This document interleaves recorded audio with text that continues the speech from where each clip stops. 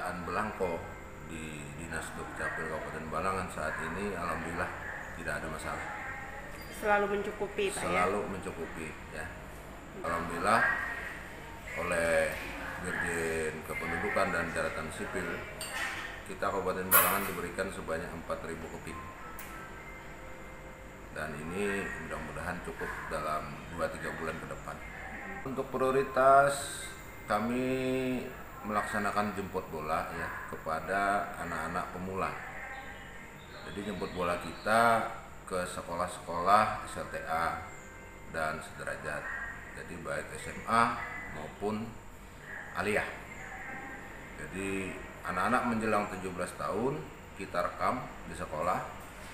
Nanti kalau sudah 17 tahun KTP-nya kami cetak kami antarkan lagi ke sekolah. Itulah gunanya jemput bola sehingga anak-anak tidak terganggu dalam melaksanakan pendidikan di sekolah. Eh, kalau nggak salah baru-baru ini juga ada kegiatan jemput bola di desa Pak ya? ada. Nah ada. itu jadi boleh- kemarin kita jemput bola di Munjung. Ah, sesuai dengan permintaan bahwa di sana ada beberapa orang tua jumpo dan ada yang sakit sehingga kami melaksanakan itu